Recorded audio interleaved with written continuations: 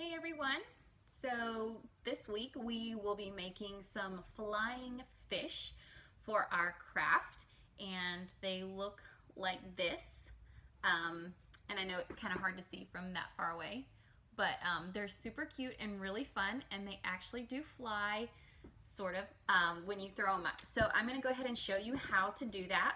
Um, we're starting with these strips of paper. They're an inch um, wide and they're half a sheet of paper, so they're um, five and a half inches long. Um, so you're gonna give each kid a strip and then they can take a marker and um, they can draw a face in the middle of it. I would have them probably fold it in half. This is the smaller of the size. I, I have different sizes. Um, this is a larger fish, so there will be different sizes of strips. They can make small fish and larger fish um, have them kind of folded in half. That way they know where the middle is. And um, that's where they're gonna draw their face um, for their fish. So they can draw eyes and then uh, mouth, nose, you know, whatever they wanna do.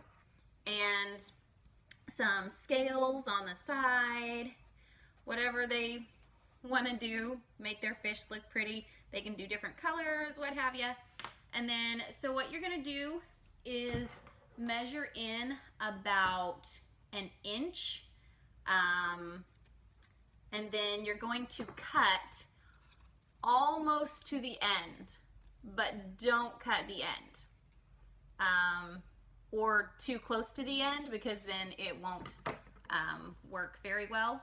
But it's going to go ahead and like, you're gonna take this end and put it through like this through the little slit. And I might have cut it too far. There we go. Like that. And so it makes a little fish. And to draw on the tail, I didn't discover this until after I had done all of my little fish. Um, they're gonna draw on the opposite side that they did their um, face. So they're actually gonna draw the little tail on the back side if they wanna do a tail at all. But um, that way when it crosses, the tail is on the outside so you can see little tail fins. Um, and that is it. And I don't know if you can see it, if it'll work, but it's really cool. Yo, you can't really see it in the video, um, but if the if it comes apart, it just, you've put it back together and um, it kind of twirls. Of course, it's not gonna work for me now. um, but anyway, so it does really fly. I have tried it out myself.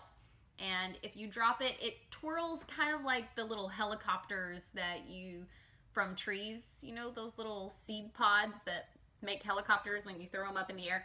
It kind of does a little spinning, floating down to the ground. it does work, I promise. It just doesn't work in front of the camera.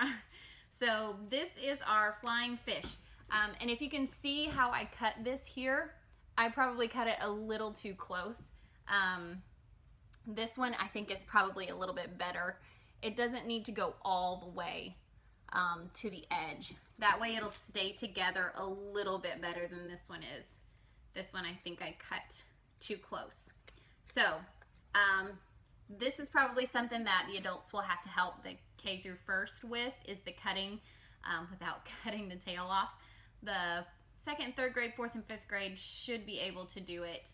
Um, but yeah, so those are our flying fish for this week.